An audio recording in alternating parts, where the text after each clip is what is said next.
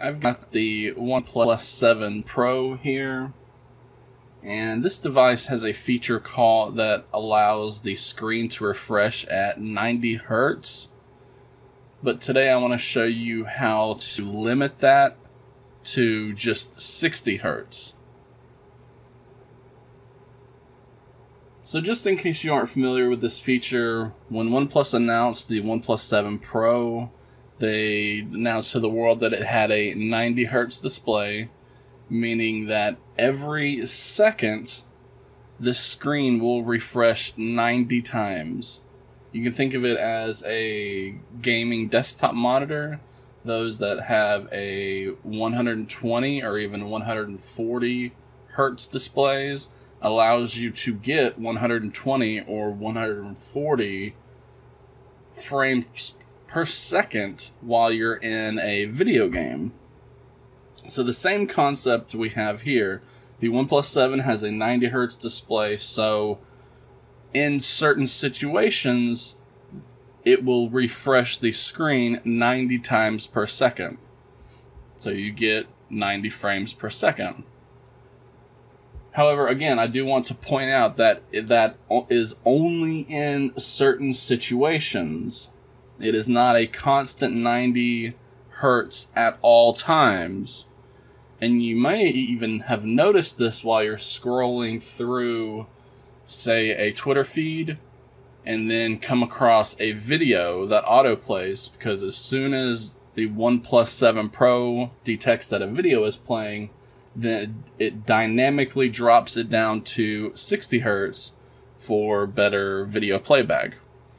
And you're going to see this dynamic change in multiple situations. I don't have an exact list right now, but if you look at the full tutorial for my website, and you can find a link for that in the video description, I will have a list of specific instances where even if you have these settings set to 90 hertz, the OnePlus 7 Pro will drop it down to 60 hertz. So you may be asking yourself, well, why would you want to change the OnePlus 7 Pro from 90 hertz to 60 hertz? One of the biggest reasons is battery life having the screen refresh at 90 times every single second uses up more battery than 60 hertz.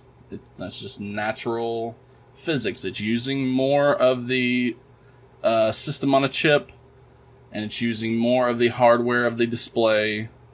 So therefore, the battery life is going to be the battery usage is going to be higher. And another reason is because of those specific instances, when you go from 90 to 60, it can be quite jarring to the performance or the perceived performance of the smartphone. Like you're scrolling through your Twitter feed and it's very, very smooth, and then all of a sudden you hit that video and it kind of jerks and you see that jank. That's because of the dynamic change. So, to change the OnePlus 7 Pro from a 90 hertz display to a 60 hertz, we simply need to open up the settings application. We are going to dive into the display option. And then right there in the first top half of the screen, you're going to see this option here called screen refresh rate.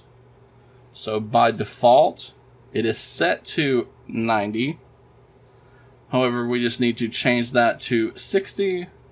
And now our phone is refreshing at 60 frames per second. With this feature changed and us set to 60 hertz, the smoothness of scrolling, you're not going to see that abrupt jank whenever you're going through your Twitter feed and then come across a video. And that can even happen in websites too and you will actually see an increase in battery life with the setting set to 60 hertz. So a lot of people are very sensitive to the 60 frames per second versus 90 frames per second. Uh, changing this is just something that I suggest you try. A lot of people cannot tell the difference to the naked eye just in regular everyday situations on their smartphone between 60 and 90.